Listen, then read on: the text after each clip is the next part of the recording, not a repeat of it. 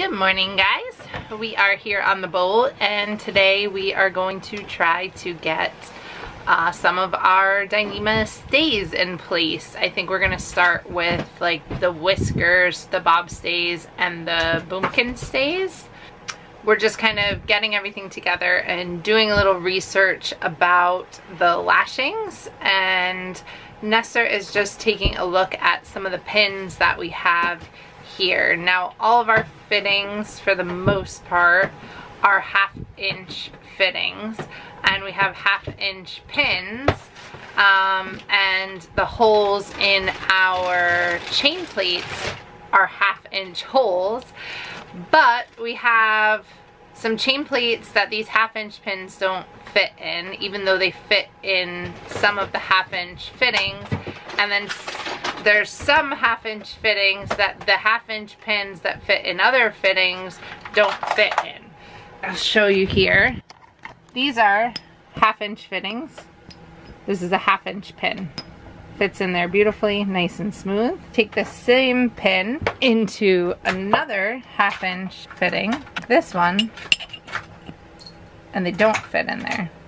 So these all have um, little fiberglass collars on the inside of them for um, corrosion so you're not mixing aluminum and stainless.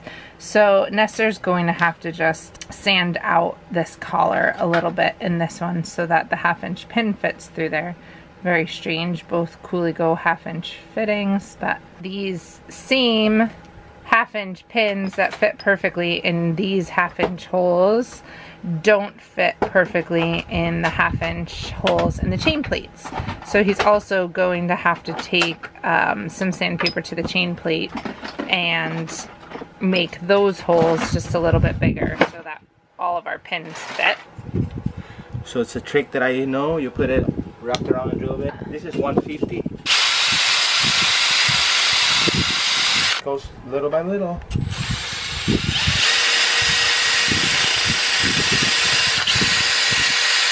He's doing it right in front of the hatch, so none of the stuff is actually going into the garbage can. It's all going on the floor behind him.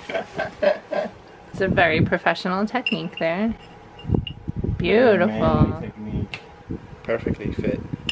Then we will start working on our lashings. So basically on this end of our fitting, this goes on the chain plate and it goes like this and this is where your lashings start. So we'll do a Brummel splice through one of these holes and that'll be the beginning of our lashing. And then um, we'll have to do that on every one of these. And then we can take them outside and actually lash them to the other end of the fitting which are these which will be in the other uh, on the chain plate yeah. These ones go on the however it goes. Yeah. one goes in the chain plate and then one goes like for instance on the bracket on the they all go to the, those yeah if these are the bumpkin stays one goes to the pin on the um, the pin plate. I guess it is a chain plate but it's like on our stainless bumpkin.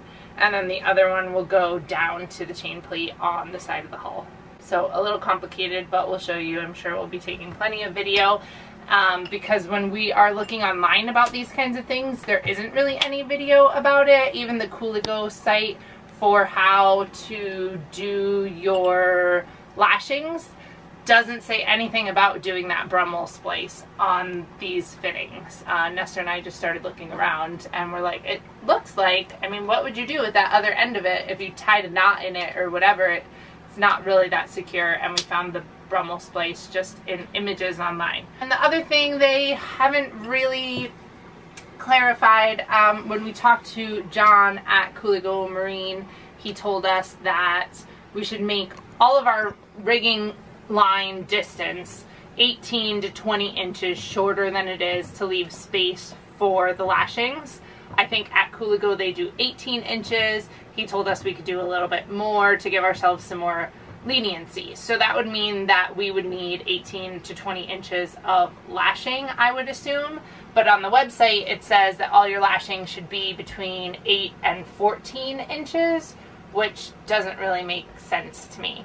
So we're gonna have to check that out. Um, waiting to call John. It's a little difficult because Colligo is on the west coast. So not only is it daylight savings time, but they're also quite a few hours earlier than us. So in the morning when we wake up and start our projects, we gotta wait about four hours before we can talk to anybody on the west coast. We just wanna make sure that we're documenting the things that we're having a hard time finding uh, so that for whoever is doing this in the future, at least you'll be able to take a look at our videos and hopefully find a bit better explanation about how this gets done.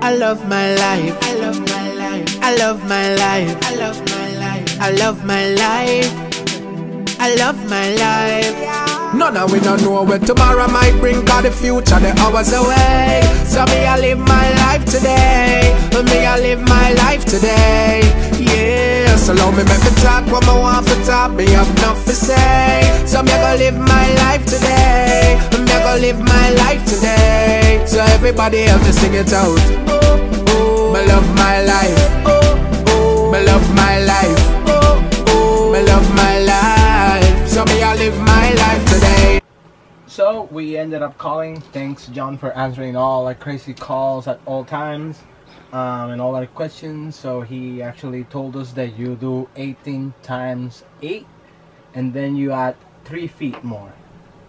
our 18 inches is what we left our stays short specifically for doing the lashings. So some people leave more than 18 inches. Um, on some of ours we left 20 because we wanted them to be a little bit uh, shorter than the others. Some people leave four feet or more for their Yeah. lashing. So it's whatever your lashing is.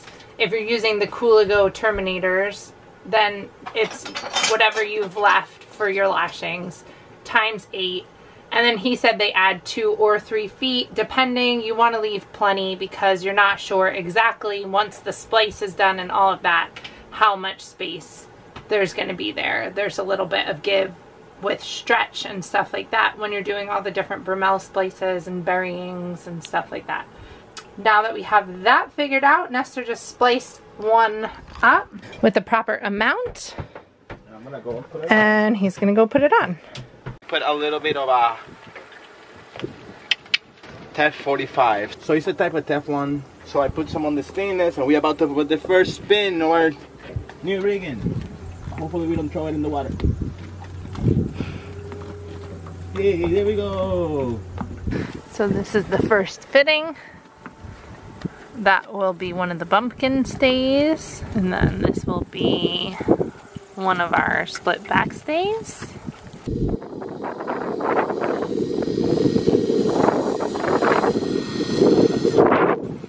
Just cleaning the holes. He's trying to put that fitting on like this. Boom, right? And this measurement from here to here is a little bit too deep for that fitting. So when it's going on, the holes in the fitting aren't able to line up. They're a little short, kind of like that, so the pin can't go through. So he's going to have to file this down, grind this down on that fitting in the front. But it's essentially a very similar thing to this. The first day. So I did the same thing. I did a little polishing of the pinhole that I drilled. It was just probably a little burr in there and we're ready to put it on. So now he's just got to go back and forth through all four of those lashing holes. This is so exciting. I I feel like we've been waiting for this for years. So we're just doing the whisker stays now. Nestor's just putting a little bit of that tough 45. Just what kind of like touches the it touches the stainless. Nestor goes up front with the lashing. Sorry about the wind today. Nestor and I are trying really hard to figure out a good mic situation for the boat, and we have been having a lot of trouble. So, wow. This is gonna be so nice.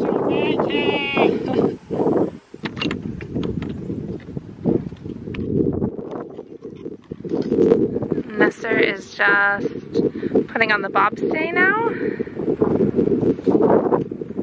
And we're just kind of putting everything in place, like I kind of said earlier. Um, we are going to tension all of these properly and Nestor might put some plastic spacers where there's some loose forks and stuff like that just to uh, solidify everything a little bit better but we just want to put everything in place first to make sure we have all the bits and pieces we need and everything fits. Look at those flippers. Look at those bumpkin stays.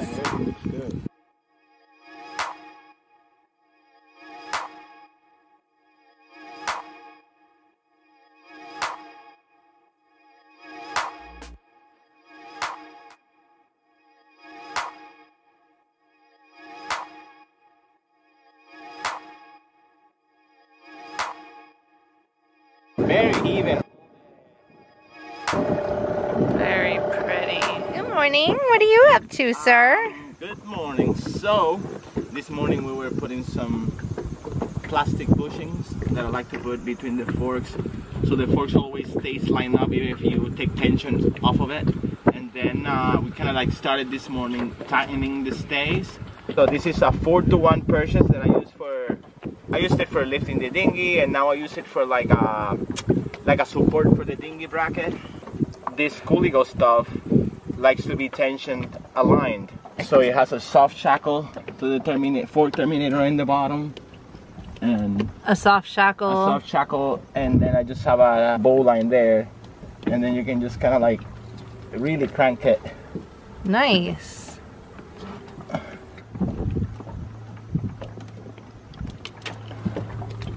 I'm sure we're gonna have to do it a bunch so it's really nice having a, a That's nice way, really nice. nice way of doing it. Very cool idea. So Nestor's just looking at it from far away. One of the big things in rigging is checking out how it actually looks from far away where you can see if something is a little too tight and actually pulling down on um, like our bumpkin or if it's too loose and our bumpkin seems to be up in the air. The same thing on the rig itself. You can put different angles in your mast by tightening your rigging certain ways and you want to make sure that you don't have any weird support in there. You kind of want it all evenly supported. Um, and the best way to do that is to get some distance from the boat and really look at the straight lines that um, you're trying to form. What do you think? I think that it might be a little too cranked up. And maybe we should just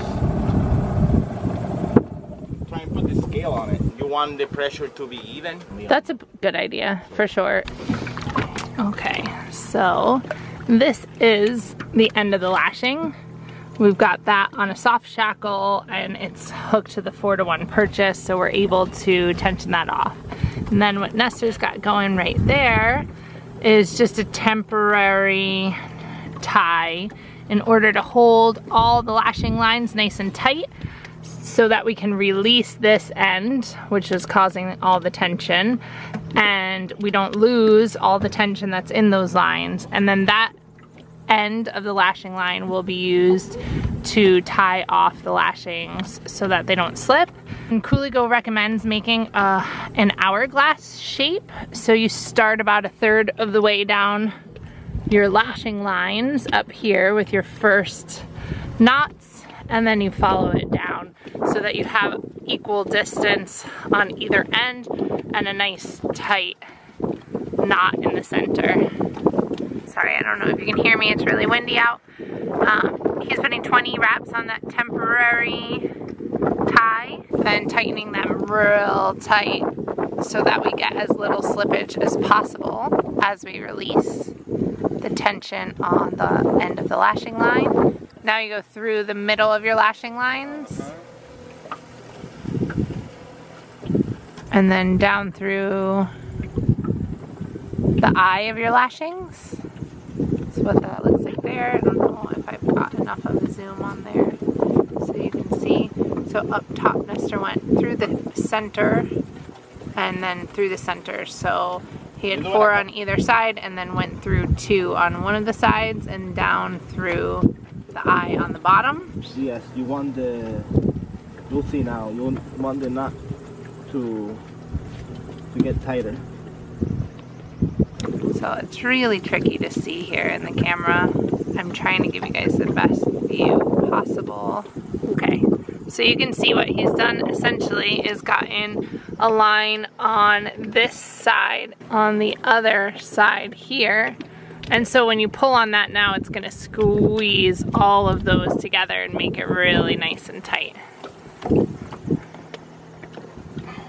All right. And then two hitches to lock that in place. All right, so Nestor's let that purchase go. Actually, beautiful. So you, this one's gonna move, right? All right. But these ones didn't move at all. I was watching them. Yep. And then you do it a third time.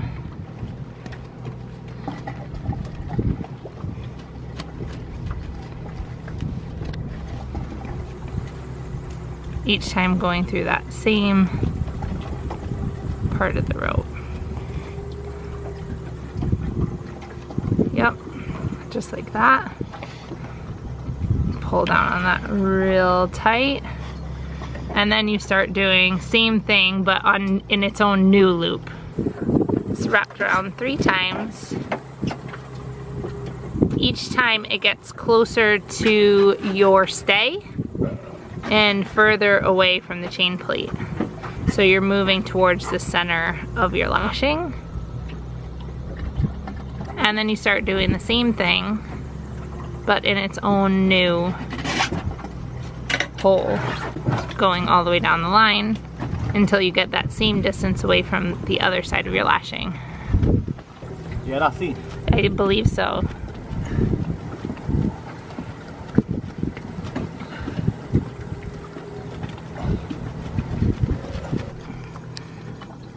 So then you just keep repeating that same step over and over again and you'll start to notice it spiraling around the rope below it. If you made friendship bracelets as a child, you'll know this as a Chinese staircase. and Nestor's just using what do you got there, Nestor? A screwdriver. Just a screwdriver to wrap the Dyneema around just to pull each one of these knots nice and tight. You're supposed to do it so that you have an hourglass shape. So essentially till, so you have a third out one end and a third out the other end and the rest of the center is bound. Let's see what it says right On the here. website? Okay, so it says um, repeat step four, which is the hitch that you're doing right now. And it says you'll notice that it starts to spiral around. And three or four times of step four is fine for security, but if you keep going, the spiral looks really nice. Yeah, I would just do All of them. All yeah, the rest of them. the rest of the line, exactly. You just use up the line that you have there. All right, you guys can probably hear nothing. It's blowing like 30 knots out. But Nestor is just finishing the knots on the last stay that we had to tighten. So that's our bob stay. And we got our whiskers done and our bumpkins done. And yeah, I'm trying to block the mic so that maybe you guys can hear something I'm saying, but wow, this is it. All right, I'm gonna hide here behind the Dodger so that maybe you can hear me a little bit better. Uh, Nestor is just up on the bow of the boat, tightening our last stay, the bob stay. We got both the bumpkins uh, tightened, both the whiskers tightened, and now the bob stay is almost done as well. And that's basically the last of the prep that we need to do on the actual boat for the mast to go back up. So that's super exciting. Now we need to head over to the mast and put the spreaders on and the forestay and the inner forestay, get a couple things ready on the actual rig before it's ready to go up and then just coordinating trucks and trailers and the lift and all that stuff again and trying to find a day where it's not blowing 35 knots. So it looks like next week things are supposed to calm down a little bit So hopefully we'll have a little break from this insane wind that we've had this week and be able to pop the rig up and have it done for Christmas. That would be so exciting. But so while Nestor has been working on tightening all the stays, I've been in and out helping him and inside cooking up a picnic. So I've got some elotes, which are corn on the cob with butter and seasoning and cheese. Woo, it's really sunny out there. I got a nice salad, some steamed artichokes, and some stuffed portobello mushrooms we're gonna throw on the grill. We're gonna pack it up with the barbecue, hop in the power bowl, and go have a picnic. So we'll see you guys over there.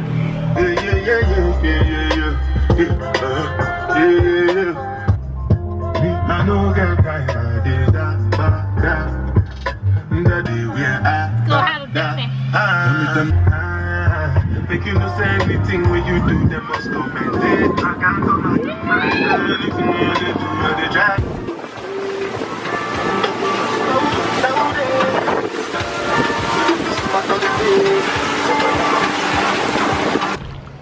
We're here at the beach. It's our little barbecue setup. I just put the mushrooms on.